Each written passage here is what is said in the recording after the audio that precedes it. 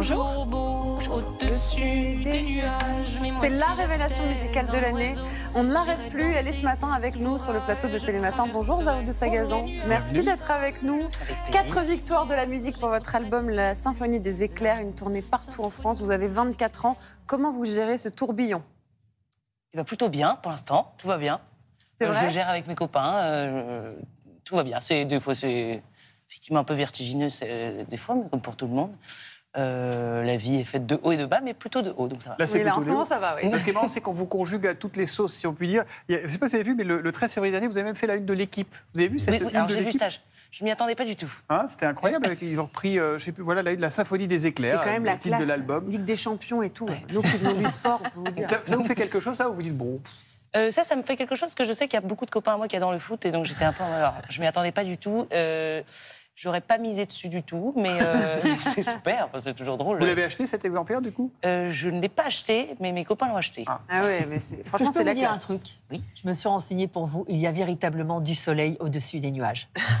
Donc, il n'y a aucun problème. C'est une, c'est une spécialiste qui vous parle. On s'en rend compte quand on prend l'avion en même temps, hein, Valérie. Alors, C'est ça. À 24 ans, normalement, enfin, ceci dit, on est tous un peu comme vous sur le plateau Télématin, mais à 24 ans, on fait la fête, on sort. Euh, Vous, il paraît que vous avez composé votre album dans le noir, les yeux fermés. C'est vrai, ça?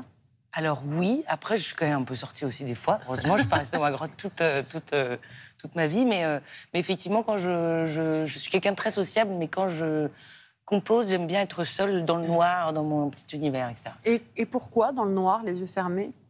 Parce que je pense que composer, c'est écrire des histoires, et donc pour s'inventer des histoires, faut, c'est bien de s'éloigner de la réalité un petit peu, et, euh, et moi je, je m'y éloigne en, en fermant les yeux. et, euh, ça invite à plus d'imagination, de, de rêverie, etc. Et du coup, vous enregistrez tout ce qui se passe dans la pièce? Comment ça se passe? Ah non, pas du tout. Non. Non, j'écris au piano et euh, je, je, je- c'est quand j'écris mes chansons. Après, j'arrange mes, mes- et j'enregistre avec mes copains en studio. Et là, il fait pas tout noir. En- sinon, ça ne plairait pas, je pense. il, il paraît que votre piano, vous le comparez à votre psy. C'est vrai, ça ou pas?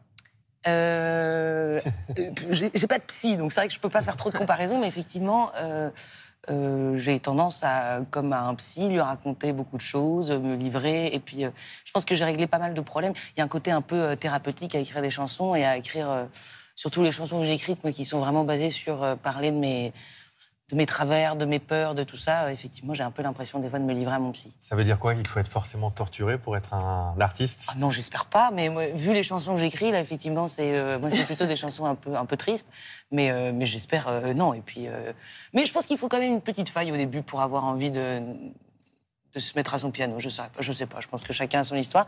Moi, c'est c'est effectivement le fait de ne pas avoir été très bien qui a fait que j'ai dû chercher un copain et que ça a été le piano. Et alors, justement, le piano, vous en jouez absolument partout. Regardez.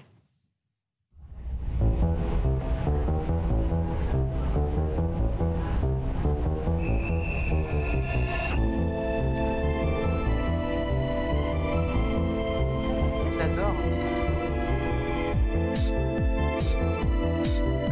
Hein.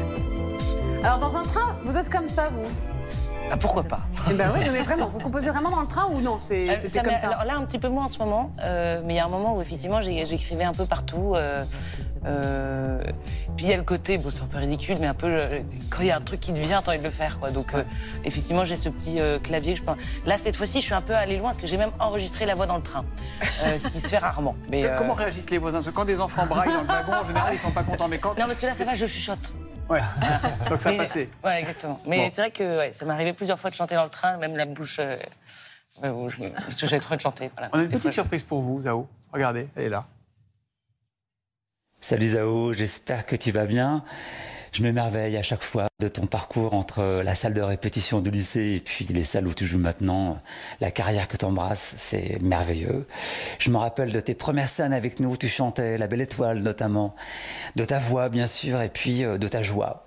Et euh, quand je t'ai vu au Zénith l'autre jour à Nantes, ce qui m'a frappé notamment, c'est euh, t'es hyper heureuse sur scène, t'es toujours joyeuse. Et ça c'est ma question, comment tu arrives à concilier le dark de tes chansons avec la lumière qui émane de toi? Euh, On t'embrasse bien fort, la team Salade, Fred, Lisa, Gwen et moi. À très vite. Votre prof de musique au lycée. Alors comment vous arrivez à concilier tout ça? Déjà, je lui fais un gros bisou parce que j'adore, euh, j'adore ce professeur, j'adore ce lycée surtout.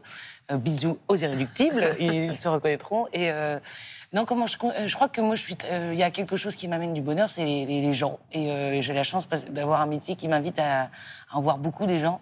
Et euh, je crois que c'est compliqué quand même d'être. Enfin, je pense qu'on peut ne pas être bien, évidemment, quand ça va pas, ça va pas, mais euh, voir des, des milliers de gens sourire, danser, euh, euh, passer un bon moment, en fait, ça invite forcément, si tu as un peu de compassion, à, être aussi, à aller mieux, quoi.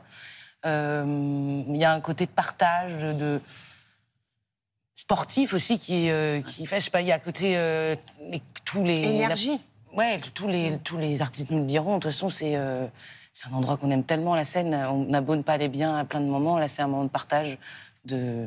Puis c'est un moment pour être heureux. C'est quand même fait pour ça. C'est pour ça que les gens achètent des, des places de concert. Donc, euh, Et les gens sont heureux aussi hein, quand ils viennent vous Oui. voir. Ça, faut- J'espère que vous en bah, avez conscience. ah, bah, parce que- j'espère. mais Quand je- même, quand fais même, quand même. pour ça, pas pour les, pas pour les déprimés. Quand on vous écoute, on, on se rend bien compte que vous êtes très sensible. Ça a été un handicap pour vous, je crois, au départ, et maintenant vous le revendiquez. Pourquoi?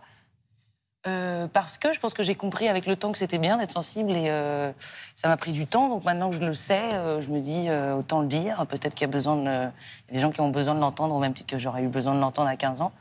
Euh, Bah, pour vos générations, votre génération, je trouve que c'est important de le dire et de témoigner, Ouais. justement.